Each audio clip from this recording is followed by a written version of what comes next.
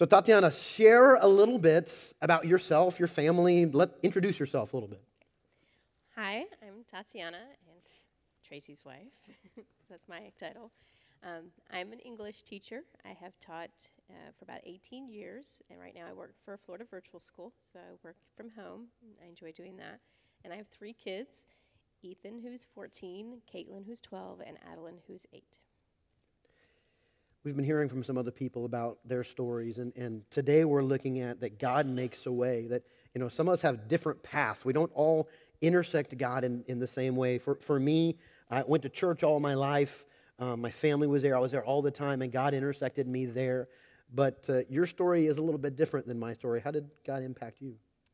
Okay, um, well, I'll start with my parents. Um, my dad is from Bermuda, but American citizen as well. So he met my mother, who was a Cuban refugee. She had defected from Cuba when Castro came into power. They met at college in West Palm Beach. Um, they got married and then moved to Bermuda, where my sister and I were born. Um, things were going fine for a while, but my mother had bipolar disorder, and so she was a little bit erratic.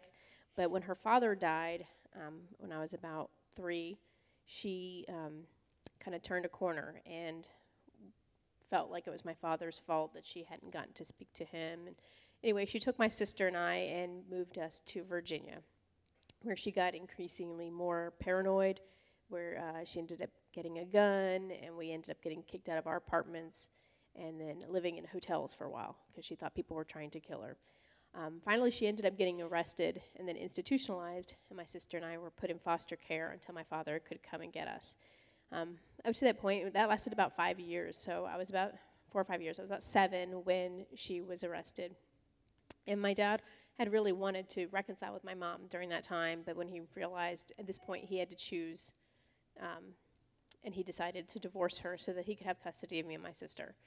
And so that, that was going well. Um, then she was getting help, and we went and lived with my grandparents because they wouldn't allow us to take us out of the country to Bermuda.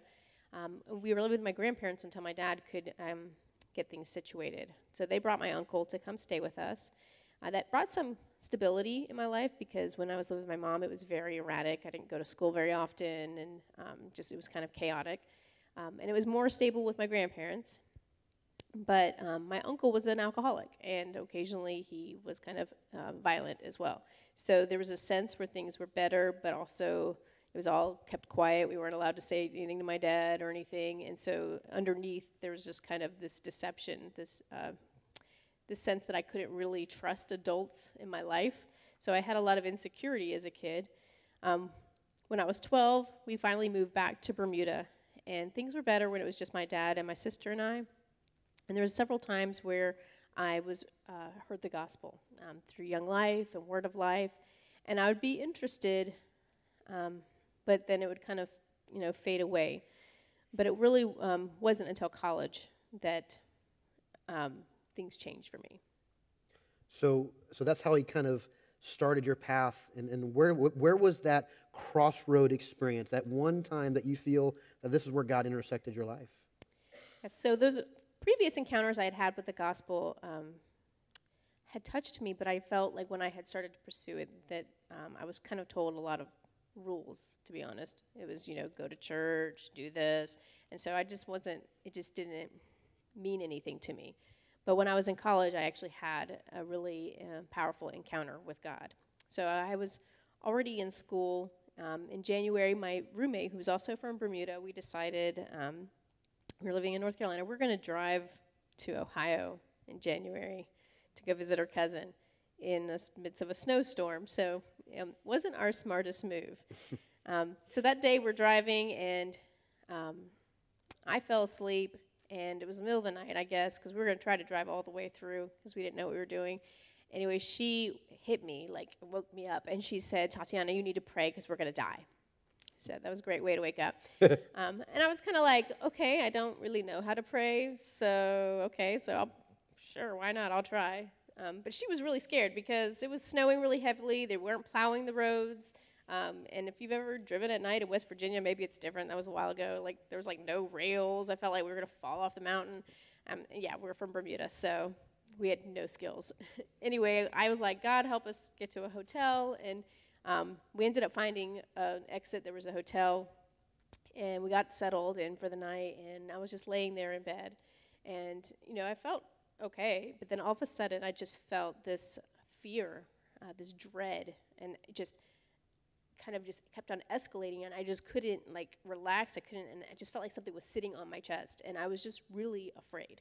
And um, I had never really felt anything like that before. I felt completely helpless. And so I just remember in that moment, I just cried out and I was like, God, if you're there, please comfort me. And almost immediately, I felt like this peace come over me like a blanket, and I felt, I heard God say, It's going to be all right. Um, and then the next morning, I woke up and I said to my friend, and her mom was a Christian, and I know she was praying for me. And she, I said, God brought me out here because He wants me to have a relationship with Him. And so that was uh, like the, the big encounter. But about a month later, and I actually realized um, it was 24 years ago yesterday. Because I, was, awesome. I was like, oh, February 16th, 1995. So, cool. So 24 years ago yesterday, I read a book that my friend's mother had suggested for me, and it was somebody's testimony.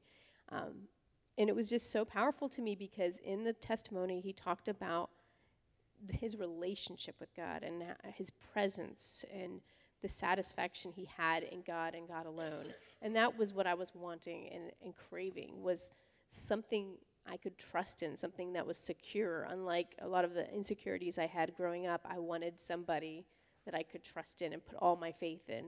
And so that moment I said, This is it, God. I'm going to follow you 100%. So, what about now? What, how has your life been different, or what's happened since that, that point? Okay, well, I kind of mentioned in the first service, I was a bit intense at first because for me, I was like, wow, this is truth. I've been looking for truth. Um, previous to that, my, my forays into truth had been more new age. I had been trained in transcendental meditation. That was my, what my father was into. I had did tarot cards. But the more I like delved into the new age world, the more I felt like there was so much contradictions and there's no sense of like it being truthful. So when I found what I, you know, truth, I was like, well, I'm going to do this 100%. So I was like, threw away all my CDs. I stopped wearing makeup. I was like evangelizing anybody who moved. Like, I was annoying. Oh, I, I offended a lot of people. However, on the other side, there were people who who saw this big change in me and became believers. Like I was able to share Christ with them. So God was able to use me even in my obnoxious state. Um, but over the years, I realized I was trying um, to earn my place with God. I wanted to feel secure, and security was a big deal for me because of the chaos of my childhood. And so I felt like if I was really good, then God would love me and I would be safe with Him. But I think, um, so God allowed me to fail really multiple times and really helped me see that it's not about me. And probably one of the biggest things is when I became a Christian, I was like, okay, what's the hardest thing a Christian could do? I'm going to be a missionary. I'm going to suffer for Jesus. I'm going to go out and live in the tribes. Um, so I had an opportunity to go live in China for a year where I was teaching English in a Chinese boarding school. So I had these grand visions of I was going to be like Hudson Taylor, who's this amazing Christian missionary back in the 1800s. Look him up if you don't know who he is. But I just thought I was going to be awesome. I don't know. I thought if I was in a foreign country that I was going to be like the best Christian ever. Well, it turns out that when you remove all my comforts, I'm actually a a worse human being than I am normally. So that year was very humbling. There was a lot of, I think I realized, I was like, I don't have what it takes to be this great Christian. And is he going to still love me, even if I can't perform the way I feel like I should? Um, and so if that was really kind of the beginning of the lessons that I'm still learning every day is that he's enough and I don't have to be enough because He is. Amen. And I'm every day trusting and letting Him lead and guide instead of having this grand vision of how He's going to use me. I'm letting Him plan that out one day at a time, even though that means a lot of humbling at times. Thank you so much, Tatiana. This is my story. This is my song, praising the Savior all the day long. You know, we've been looking at different stories, and, and what we're using this series for, if you haven't been here, is we're taking big things that we know or we've heard about God, and then and then looking to God's word and finding the stories that demonstrate that because that's how things are. That's testimonies. That's, that's saying God is something, and this is how we know God is something. Not, not that just you said it or pastor said it or, or somebody preached it on TV, but this is how we know it because we can find it in God's word. We find proof in God's words, the stories and the people's life and their testimonies that have been written down in God's word. And so, so the first week, two weeks ago, we learned an amazing truth, or, or the stories behind that God is all powerful. That God is all powerful. And we, we looked at the stories where God interrupted one of the most powerful forces on this world, whether it was a sea or an ocean or a river, and he spoke a word, he waved a hand, and those seas parted or they calmed. God is in control of the most powerful force on this earth because he is more powerful than anything. That he is all powerful. That at a very word, those seas parted. And then last week, Tracy did an amazing job reminding us again that God is love. And when we look at even some of the rest of these that we'll look through these stories, that we looked at through the lens that God is love, we understand them in a greater way. And he used a beautiful story in God's word of the, the Good Samaritan, where the, the Good Samaritan was, was, was, was Jesus, symbolized Jesus, our saving power, the person that saved us, just like we sang. He rescued us out of the pit and put us into his promise. And so, so we then are, are those that have been saved, believers that were rescued out of the pit and placed into a, a, place where we can grow and we can heal, and that's the church. And then after we heal and God has worked on our lives here, we are called to be the church in someone else's life and show God's love to them as God brings them here and they have need. This week, and let me tell you, if, if you want to at some point raise your hand, interrupt me, you can, because I'm pumped. I can't tell you. I, there hasn't been a sermon in a long time that I've been this excited about. I was, as, as God was speaking it to me, and as I was writing things down and I was figuring out what God wanted me to say today, my heart was just burning inside of me. And on Thursday, I wanted to call every single one of you and say, Church is happening tonight. Get here, because I can't hold it in. And so if I get going too fast, and I likely do sometimes, just raise your hand and say, Robert, slow down. And I'll slow down, all right? But but what we're going to learn today that we've been singing about and, and Tatiana explained with her testimony is God makes a way when there seems to be no way. If you would have told somebody the, the history of Tatiana, you would have never thought she would have gone from tarot cards and all these other influences, and nobody in her life, very few people in her life, speaking Christ into her. And she became a Christian. And she's doing an amazing things through all the many things that she does here at this church and in her home and, and through the ministries and the workplace that she, God has placed her. She's being, making an impact there because God makes a way when there seems to be no way. And so, as I was as I was thinking, what story in God's word best illustrates this idea that God is sovereign above all else, that if He has a plan and purpose for your life, He's going to bring it to fruition. Let's, let's see if maybe you know it and I can go home right now. So, what story, uh, and you can go home, I guess, too. I guess that's the better part for you. Um, what story in God's word do you think illustrates God will make a way? Joseph. Man, you guys either are really smart, you've read my notes, or it just is that obvious. And it is. To me, there is no better story, there is no greater story than that. But as I was thinking about this idea of God will make a plan, you know, I thought about this, this, this idea of um, the most amazing miracle that I think God does every day is that he engineers his plan to come fruition, even though there, it's in the midst of 7 billion people that each have free will. There, I, it's, it's amazing to, to think that God can engineer things and put people in place, even though they don't know they're being put in place. And they don't know they're being used by God, and they probably would choose not to, maybe if they did, if they had that. But but they had free will, and even in the midst of that free will, God can still bring about His plan to me, I kind of thought about it this way. I love to do Legos growing up. Anybody love to? I still love to do Legos, let's be honest. All right? But Legos. So, so imagine this that, that I have this huge garbage bag that fits in those garbage cans back there, those black bags, and somebody has thrown millions of pieces of Lego pieces in this bag, and they've given me a task build the Eiffel Tower one piece at a time with those Legos. And all I can do is close my eyes and reach in and grab the first thing and then pull it out and put it on the bottom. And then reach down and grab another piece and put it on top of that. What would be the chance that I could build the Eiffel Tower that way? I would say zero. Zero chance that I could build the Eiffel Tower that way. But God, with all these moving pieces in the world, still is able to bring out his plan time and time again. Our God is amazing and he's sovereign. It also reminded me of kind of the science fair project days. Anybody in those days right now?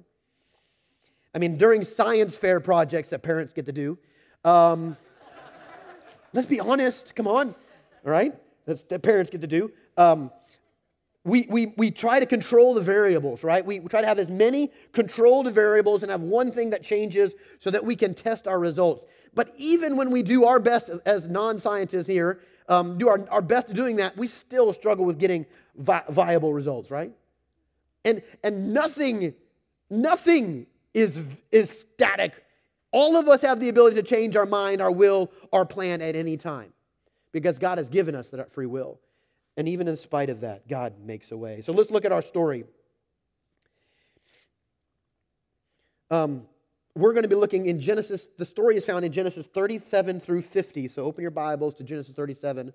Uh, we're not going to read every single thing. What we're going to look at is five crossroads, five important crossroads in the life of Joseph.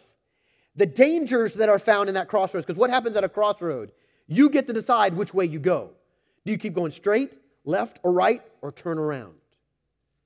And so Joseph encountered these five crossroads, and there are dangers, but there are also promises in God's word that helps us through them.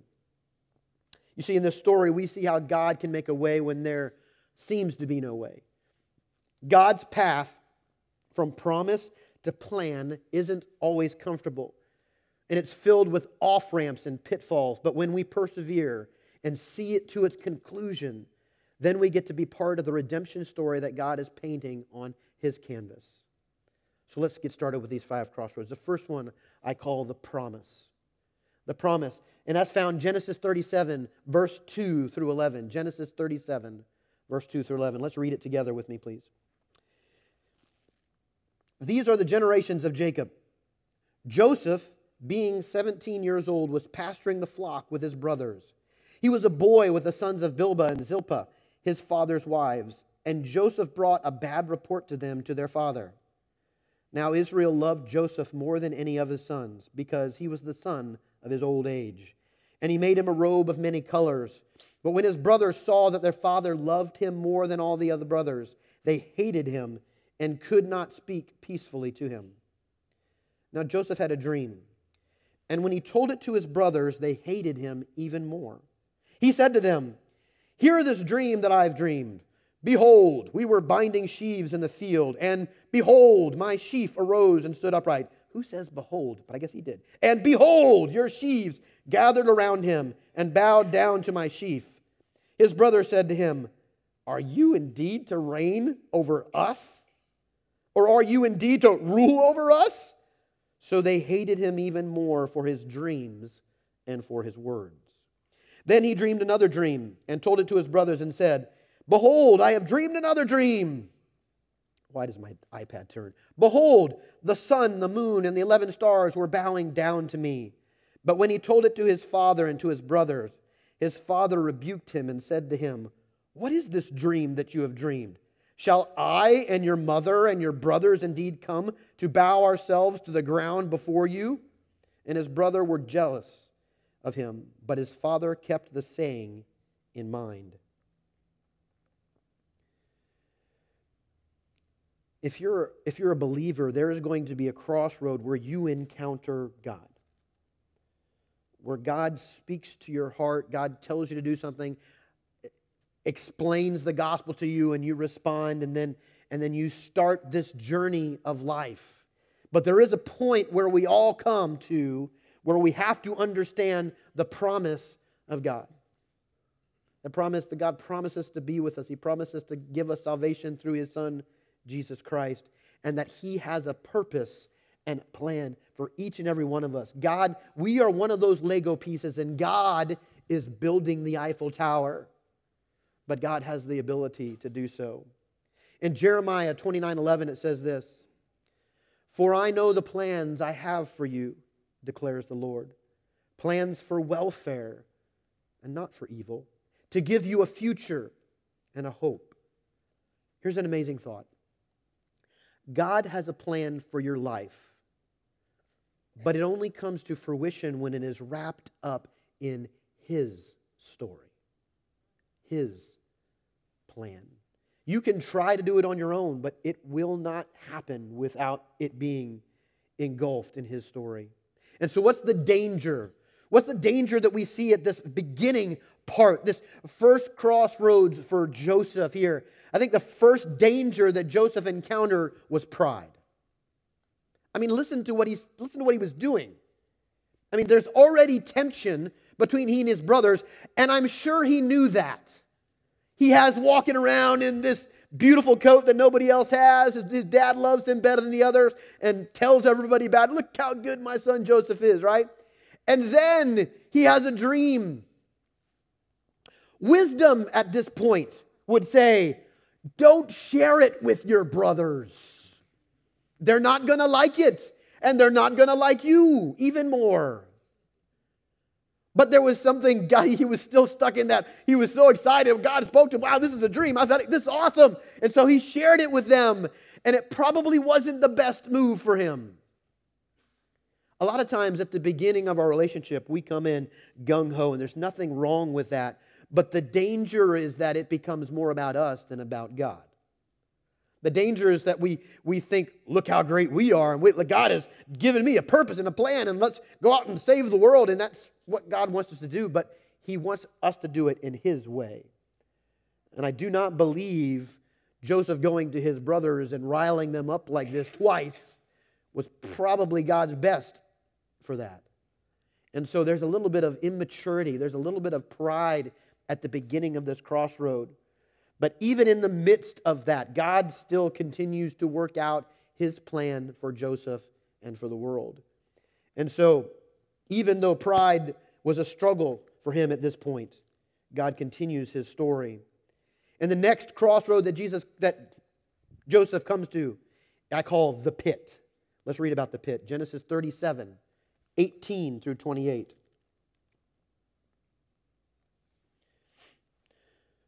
So Joseph is coming to his brothers um, in the field, and it starts here in verse 18. It says, They saw him from afar, and before he came near to them, they conspired against him to kill him. They said to one another, Here comes this dreamer. Come now, let us kill him and throw him into one of the pits. Then he will say that a fierce animal has devoured him, and we will see what will become of his dreams. But when Reuben heard it, he rescued him out of their hands by saying, Let us not take his life. And Reuben said to them, Shed no blood. Throw him into this pit here in the wilderness, but do not lay a hand on him, that he might rescue him out of their hand to restore him to his father. So when Joseph came to his brothers, they stripped him of his robe, the robe of many colors that he wore, and they took him and threw him into a pit. The pit was empty, there was no water in it. We'll come back to that. The pit was empty, there was no water in it.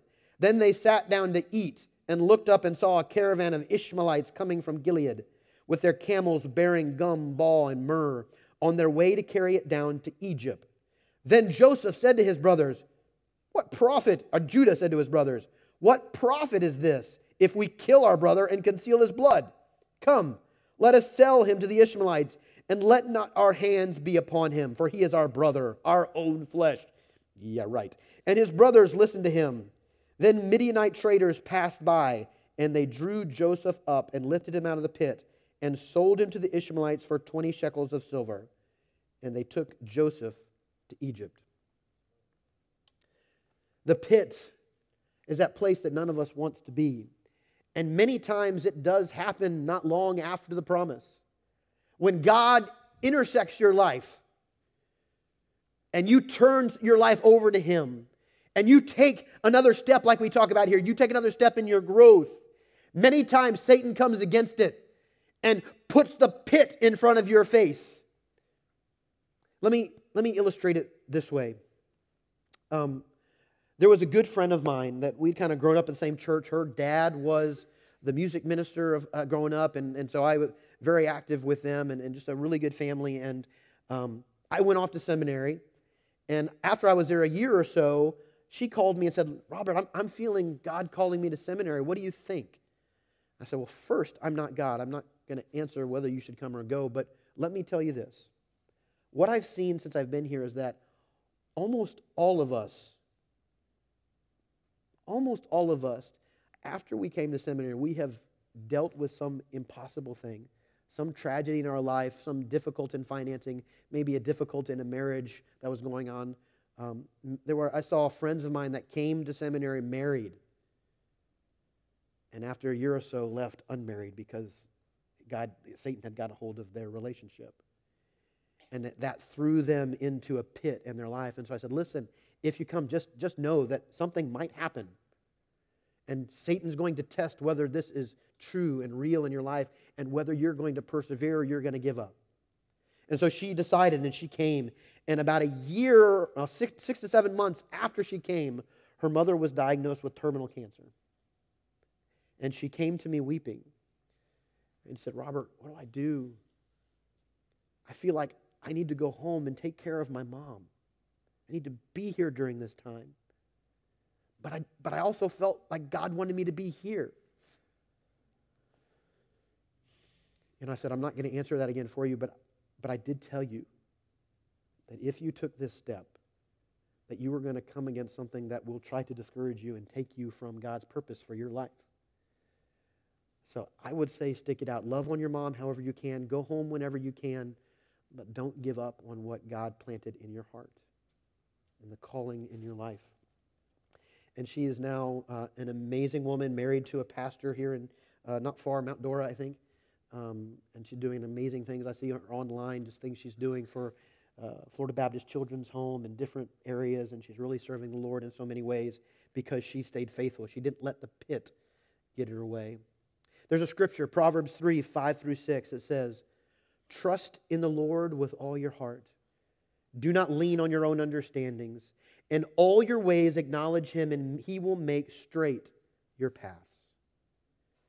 You see, when Satan or life or sin put roadblocks in our path, we have to see them as opportunities for God to prove this scripture and to do the straightening in our lives. The danger of the pit is fear. Whenever we get thrown into a pit, none of us like to be there, and many times it leads to fear. But we know, because of God's promises, that faith and love conquer fear. Faith and love conquer fear. And so, whether, whether you find yourself right now going through a pit in your life, that you felt like you were doing something for God, maybe you've started coming to church again for the first time. And now all of a sudden things are falling apart in your life and you feel like there's there's there's there's ground above you. You're never going to be get out of that. One thing i saw in that scripture i said we're going to come back to remember it says they threw him into the pit and there was no water there. We just kind of gloss over that. But a lot of times those pits would have been filled with water. And so if that would have been that way then he would have struggled to stay afloat and maybe would have died waiting in that pit and so even in the pit God was there with him. Just like God is there with you as you go through your pits of life. The next thing is the pit stop, is what I'm calling it.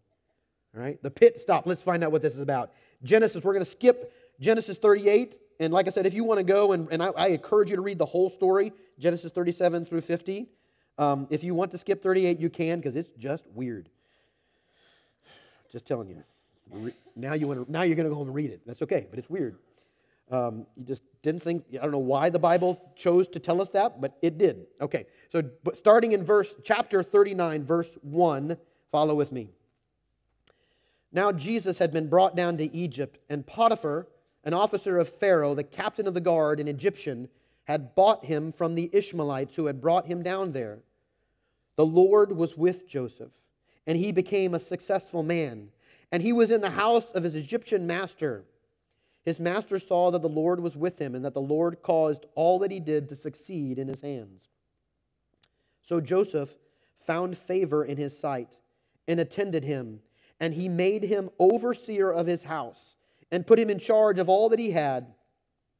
From the time that he made him overseer in the house and over all that he had, the Lord blessed the Egyptian's house for Joseph's sake.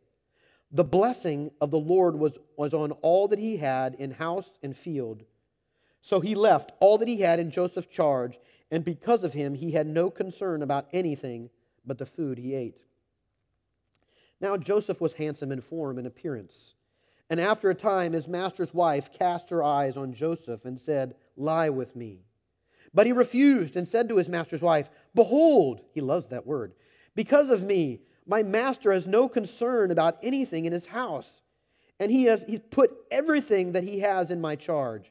He is not greater in this house than I am, nor has he kept back anything from me except you, because you are his wife.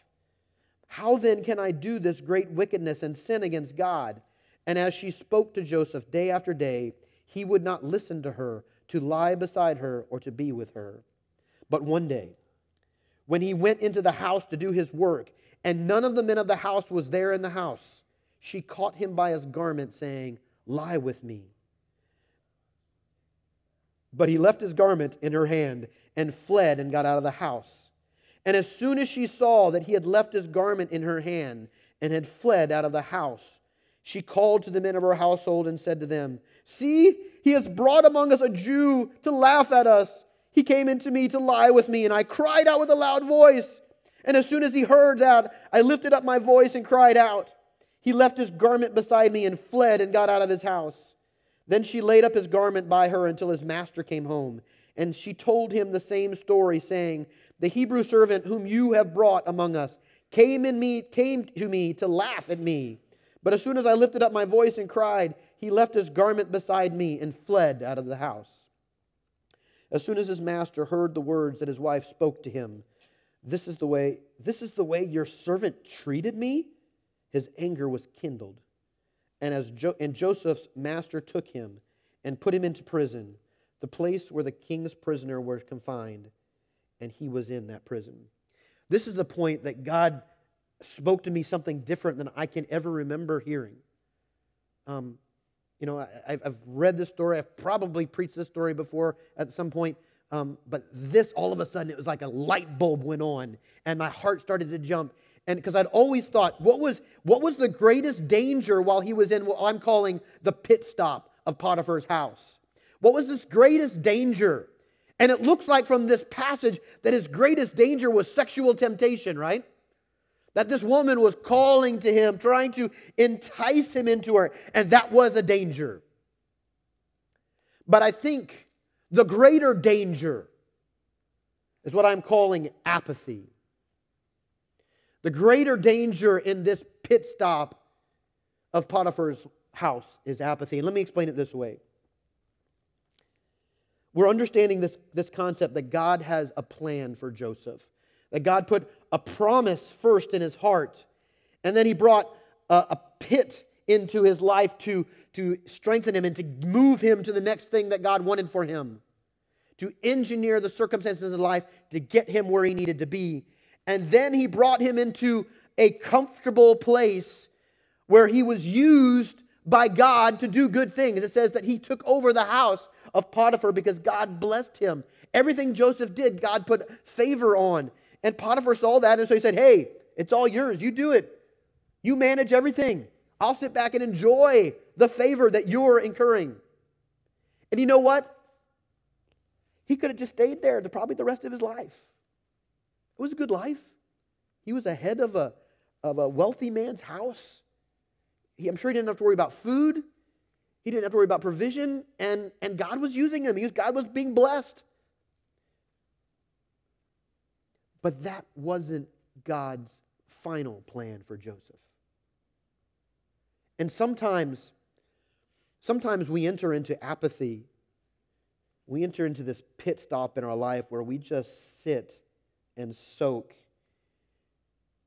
and we're not doing anything for God. We're not taking another step. We might be faithful in what God has told us up to this point. We might be doing good things. But God has said, I have another step for you. This isn't your final place. And so the danger is just to sit back and be comfortable. The danger for you and me is the same. You could come to this church for 20 years and sit there and never take another step for God. And I'm going to tell you something apathy has set in. You could be reading your Bible, you could be praying, you could be doing some of these things. But if you're not looking for the next step, if you're not looking to grow more and more every day, then this is where we just get comfortable. We sit back because the air conditioning works and the seats are semi comfortable. And Robert only preaches long every once in a while. And today's that day. Just kidding. Here we go. The pit stop. See, the scripture in 1 Corinthians 10 13 says this No temptation has overtaken you that is not common to man. God is faithful and he will not let you be tempted beyond your ability. But with temptation, he will also provide the way of escape that you may be able to endure it. And so, as temptation comes, whether it's a sexual temptation that he encountered and God gave him away by just running, that's what God says about sexual temptation flee it, get away from it, run away from it. But the even greater temptation was for him to sit still and be comfortable with where he was. But God said no. And so, to get him out of there, God brought about this circumstance with Potiphar's wife and this false accusation that led him to prison. And that's our next crossroad the crossroad of the prison. Let's read about it. Genesis 39, just this next verse, 21. It says this But the Lord was with Joseph and showed him steadfast love and gave him favor in the sight of the keeper of the prison. And the keeper of the prison put Joseph in charge of all the prisoners who were in the prison. Sound familiar? Whatever was done there, he was the one who did it. The keeper of the prison paid no attention to anything that was in Joseph's charge because the Lord was with him, and whatever he did, the Lord made it succeed.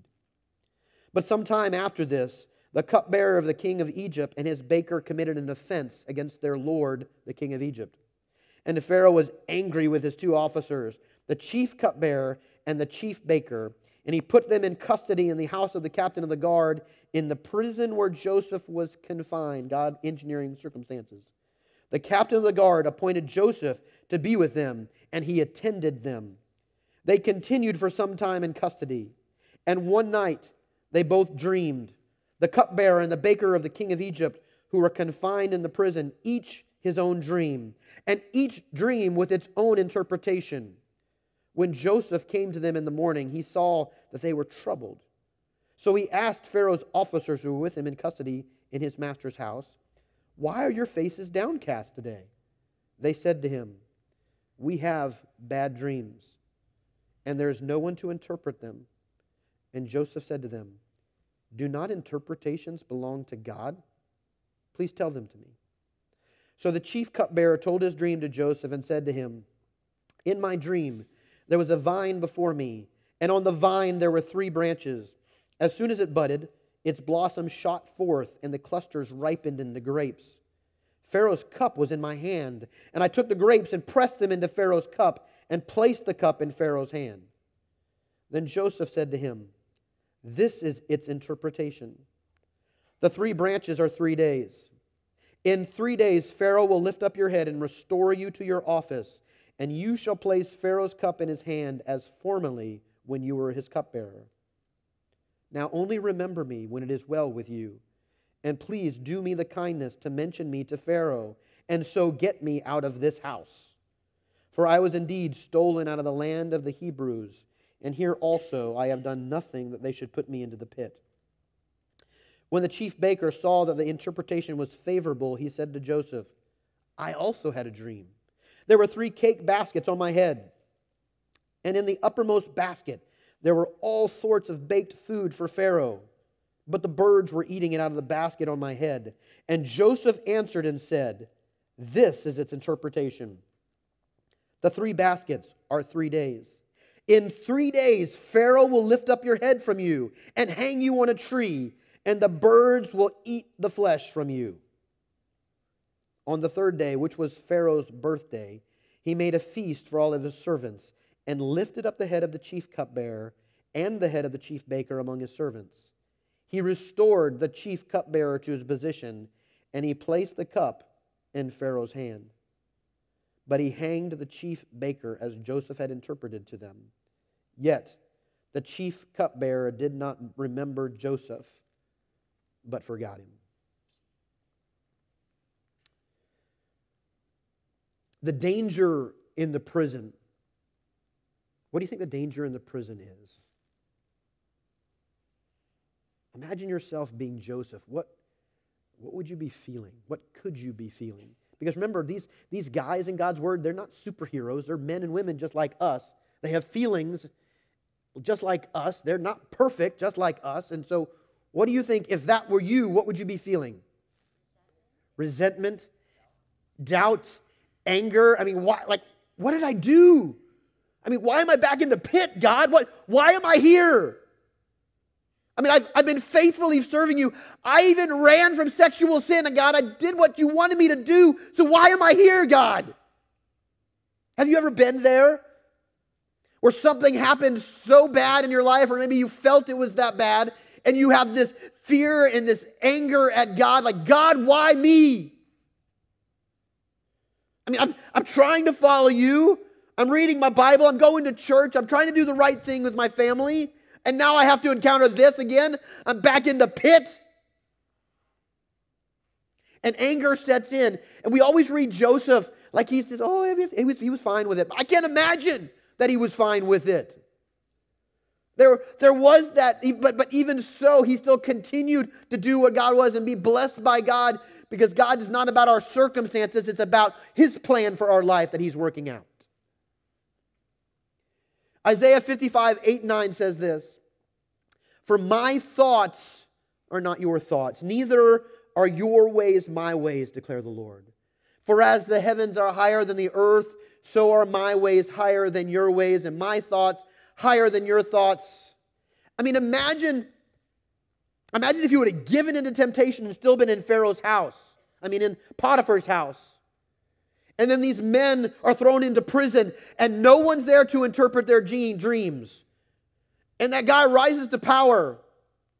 And we're going to find out later that he does fulfill his promise to Joseph. But, but imagine if Joseph wasn't in the prison and he didn't have that opportunity to speak into the life of somebody that was in Pharaoh's court. So then, then he could have impact into Pharaoh's court. And eventually, that we learn, we're not going to, we can't read everything, but Joseph rises to power because he interprets some of Pharaoh's dreams. You see, the reason why prison bothers us so much, and myself included, is that our vision is limited and our thoughts are selfish. Let's, let's be real. We're more concerned about our own comfort and what is good for me today. And if it doesn't look good, then it must not be good. And not realizing that maybe God throwing us in a prison so that we can be at a crossroads to meet somebody that will forever impact our life. Or have an encounter that changes our life forever. See, the thing is, we can't see everything like God does. We don't know his ways. His ways are higher than our ways. And so we just have to trust him, even when we're thrown into the prison. The last thing. The last thing is what I call the plan. So we're going to skip ahead in the story. We're going to go to chapter 45. Chapter 45. And see, in the chapters in between, Jesus, uh, Joseph, why do I keep saying Jesus? Joseph um, has an opportunity to interpret the dreams for Pharaoh. And these dreams basically tell them that there's going to be a famine in the land. There's going to be seven years of famine. But before the seven years of famine, there's going to be seven bumper crops, seven years of bumper crops. And so even after they interpret it, they're like, well, what do we do with that? And Joseph, in his wisdom that God has given him, says, let's take, during those seven years, let's store up as much grain as we can so that we will be able to survive and thrive during the lean years. And so Pharaoh goes, That's a good idea. And you seem to be the man for it. You got it. So Joseph rises to power. He's second in command. And they, they collect so much grain that not only can they feed the people of, of Egypt, there are people coming from all over the land in that day, and they are trying to purchase some of this grain so that they can survive this terrible famine that's going throughout the land. And in the process of this, Joseph's family is struggling with this famine. And so Joseph's father sends his brothers to get some grain from Egypt. And this encounter happens that, that Joseph recognizes his brothers, but the brothers don't recognize him because he's been Egyptified. He's probably got the hair slicked back and maybe a nice little goatee going on and the makeup on the face, whatever they're doing in Egypt days. But he doesn't look like Joseph to them anymore. And they thought he was long gone and long dead, anyways. And so, so they just didn't recognize him. And Joseph, maybe in a little weakness, puts them to the test to see if maybe they have grown, maybe they've matured, they've become different men in these years that have gone by. But ultimately, we come to this spot in our story. We come to the culmination of the story where Joseph stands before his brothers. And in Genesis 45, it says, it recounts the story this way. Then Joseph could not control himself before all who stood by him. He cried, Make everyone go out from me. So no one stayed with him when Joseph made himself known to his brothers. And he wept aloud, so that the Egyptians heard it, and the household of Pharaoh heard it. And Joseph said to his brothers, I am Joseph. Is my father still alive? But his brothers could not answer him, for they were dismayed at his presence. So Joseph said to his brothers, Come near to me, please. And they came near. And he said, I am your brother Joseph, whom you sold into slavery. And now do not be distressed or angry with yourselves, because you sold me here. For God sent me before you to preserve life. For the famine has been in the land these two years, and there are yet five years in which there will be neither plowing nor harvest.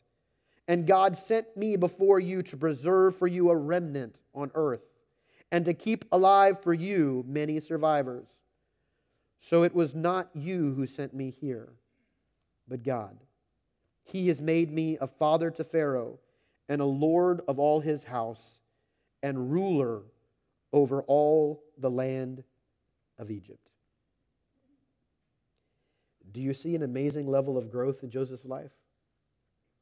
That pit, that pit stop, that prison had grown him into the man that God wanted him to be, and he was right where God wanted him. He was second in command in one of the greatest kingdoms of all, the kingdom of Egypt. And he wasn't even Egyptian. And more importantly, God realized that it wasn't for that alone. He was there to save the world. He was there to save the Jewish people because it says here, Now do not be distressed or angry with yourselves because you sold me here, for God sent me before you to preserve life. For the famine has been in the land these two years, and there are yet five years in which there will be neither plowing nor harvest. And God sent me here before you to preserve you a remnant on earth and to keep alive for you many survivors.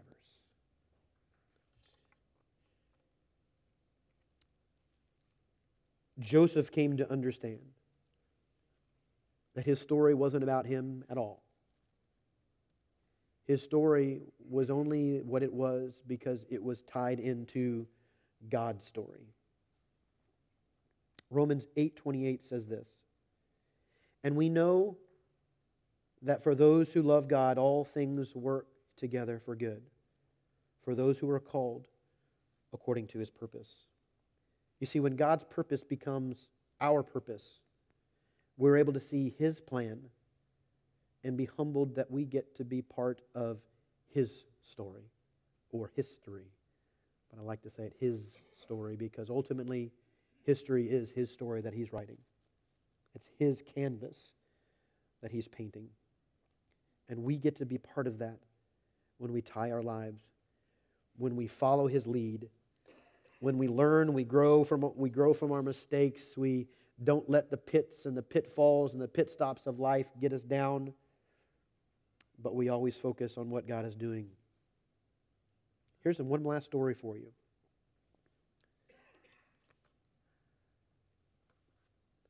God sent Jesus as the promised one. He humbled himself and came down to this pit. Satan offered him a kingdom on earth. The disciples asked him to save himself, but he refused to take a pit stop and settle for an earthly kingdom. The rulers of the earth threw him in prison and tortured him with an inch of his life, but yet he was willing to go to the cross and freely give up his life so that he could fulfill the Father's plan. You see, these crossroads are not only in Joseph's life, Jesus encountered these crossroads as well. And I believe each and every one of us, if we are following the Lord, will encounter them. So I don't know where you are this morning. I don't know, maybe you've never even encountered the promise. Or maybe you've never heard about Jesus and what he wants to do with your life and how he wants to save you. This is the day to do it. This is the day at least to talk to somebody about it. We'll have elders and our prayer team up for, front and they would love to talk to you about this is the greatest thing this is the first step this is the most important thing that you will ever do with your life is getting plugged into understanding and being part of god's story and his plan for this world maybe maybe you've done that but things have come against you now you're just frustrated you don't you don't understand you thought it was going to be easy after you accepted christ but god never promises that he just promises to be with us and walk with us through these crossroads and help us make good decisions. Maybe you are maybe you're at a pit stop in your life. Maybe you haven't taken another step in years. Maybe you've been coming to church, maybe reading the Bible a little bit, but you've not taken your next step in years. And I don't know what that is for you, but God does. And maybe He's going to use circumstances in your life to push you, to get you uncomfortable. But the goal is to get you to the next step in your life to get you where you need to be so that you can be part and on the way to fulfilling God's plan for you. Maybe you're in prison. Maybe things are really, really rough right now and you don't see a way out and you're actually a little frustrated that, God, why am I here? I, don't get it. I mean, I, I keep running into these same things, but, but God is saying, be patient. My ways are higher than your, your ways. And I know what I'm doing, so trust me. Because ultimately, God's going to bring out his plan. Ultimately, Jesus and God win. If you ever want to do a study on Revelations, always go into it this thought. The main thing you need to learn about Revelations Jesus wins. And because he wins, we win. Pray with me. Dear Heavenly Father, we are, um,